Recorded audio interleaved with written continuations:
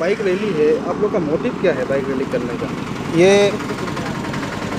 सबसे पहले तो आप सभी जितने भी मीडिया बंधु हैं, आप सबको इस आज का दिन जो भारत दिवस जो हम लोग मनाता है, जो पूरा भारत देश में आज का ही दिन में ये भारत देश का एक नया निर्माण हुआ पूरा भारत का नहीं, सृष्टि का निर्माण हुआ तो इसीलिए आज आप सभी मीडिया कर्मी, मीडिया बंधुओं को भी बधाई देते हुए मैं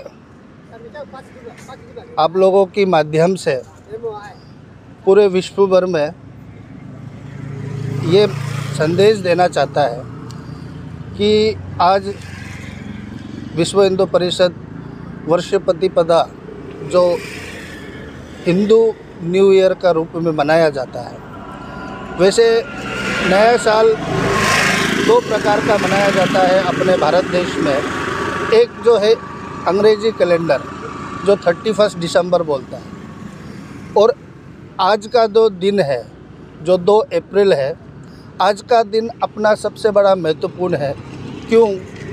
आज इस धरती पर जो ये धरती का जो निर्माण हुआ तो ब्रह्मा जी ने ही आज का ही दिन में इस धरती का चिंतन करके आज का ही दिन में इसको ब्रह्मा जी ने इसका आगमन किया है और इसका पैदा किया है। तो इसी के चलते तो अपना विश्व हिंदू परिषद पूरे समाज को सुधारने का चिंतन करता है।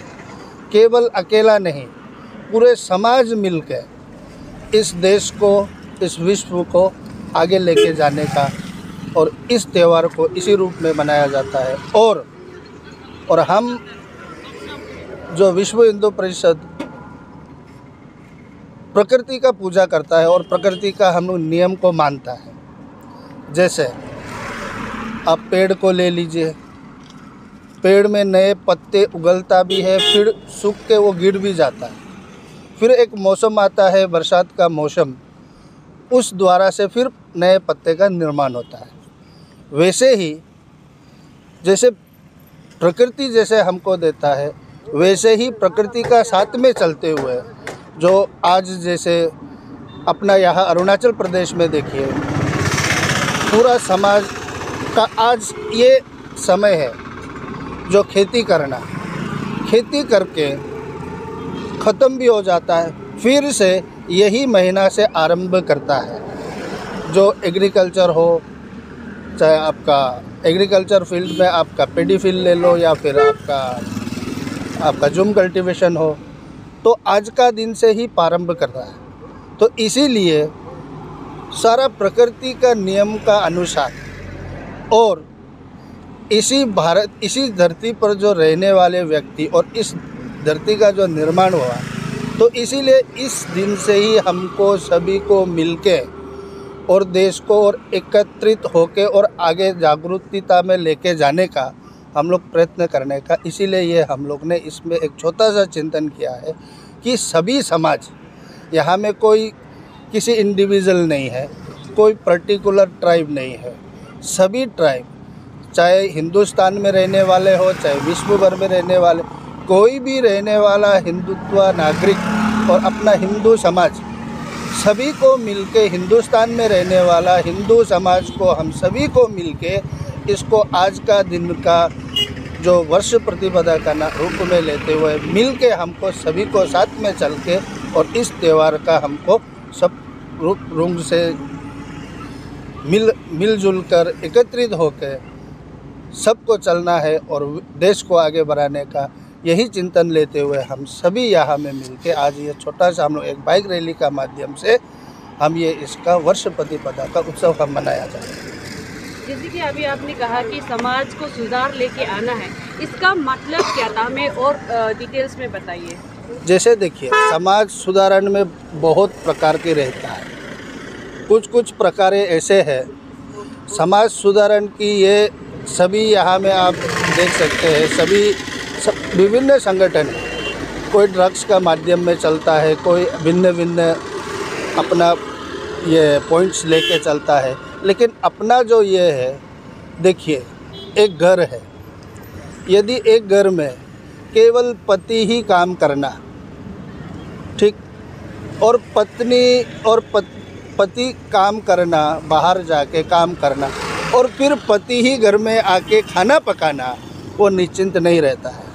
तो इसीलिए एक परिवार रहता है तो एक घर में है तो पति का एक काम रहता है तो पत्नी का एक काम रहता है, और बच्चे भी होते हैं तो बच्चों को भी अपना अपना काम रहता है। तो लेकिन एक समय मिलता है जो साथ में बिताने का तो उस साथ में बिताने के लिए तभी जाके उस घर में सभी परिवार मिलके यदि करता है तो वो घर बहुत सुंदर और संपूर्ण विषय में आगे बढ़ने का प्रयत्न करता है।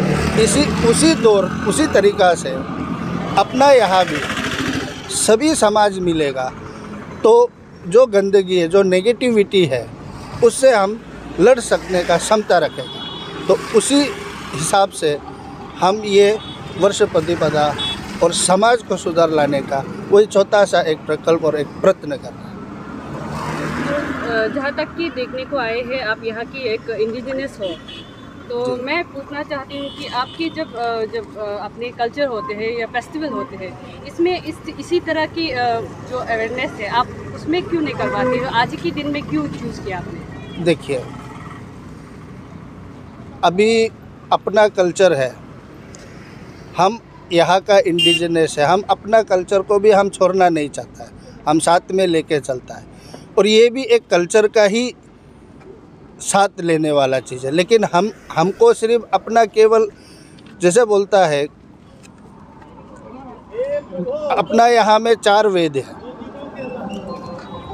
पुराणों का हिसाब में चार वेद है। चार वेदों में से कोई सिर्फ़ हम एक वेद को लेके चलना हमको पॉसिबल नहीं हमको यदि ज्ञान लेना है, चारों वेद का लेना है। लेकिन हम एक वेद का ही ऊपर में निर्भय रह के बैठा हुआ है। तो इसीलिए उसी प्रकार से यहाँ में विभिन्न प्रकारों की वेद है। वैसे ही वेद की तरह यहाँ में बहुत सा चीज़ है। इंडिजिनस है हम।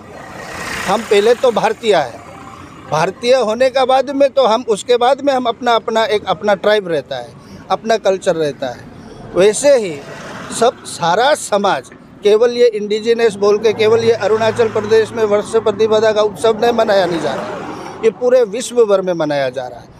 दिल्ली में, मुंबई में, इंडोनेशिया में, सभी भारत, पूरे विश्व भर में मनाया जा रहा है। तो इसीलिए तो हमने भी ये संकल्प लिया है कि जब इंडोनेशिया में जो थाईलैंड में है, इंडोनेशिया में जैसे आप जाएँगे, वहाँ आज राम कथा चल रहा है, पूरा महीना भर चल रहा है राम कथा जो वो भी उसी रामायण काल का महाभा रामायण, जब रामचरित्र मानुष रामायण काल का समय से, वहाँ में राम कथा चल रहा है।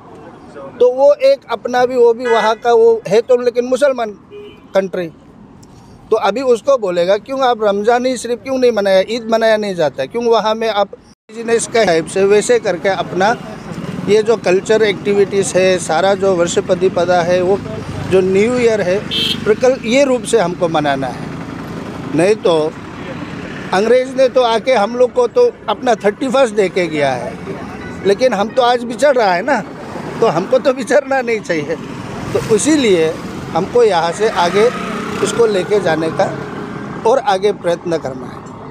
यहाँ के लोगों की कहना है कि जो डोनीपोलो इंडिजिनस ट्राइब है बिलीवर है इसको है जो कि आरएसएस जो है डाइल्यूट करने की कोशिश कर रहे हैं। तो इसमें आपको क्या कहना है? देखिए समाज में बहुत प्रकार की बातें निकलती है। अभी एग्ज़ाम्पल इंडिजिनस होने का नाते अभी कोई एक समाज गलत करता है। अभी एक देखिए, अरुणाचल प्रदेश में एक छोटा बच्चा कोई भी अगर गलत कर दिया, अपना ही इंडिजिनस है, मान लीजिए। तो उसको हम लोग क्या बोलता है कि लादिन बनना चाहता है क्या मतलब मेरा कहने का मतलब समझे, वो कहेगा कि आपको लादिन बनना है क्या? तो ज़रूरी नहीं है ना वो लादिन बनना है। अभी आरएसएस का ऊपर में जो धोनी पोलो का जो इंडिजिनस को डाइल्यूट करना चाहता है, जो बोल रहा है, वो कहने वाला का मुँह को कौन बंद कर सकता है? तो वो कोई नहीं बंद कर सकता है।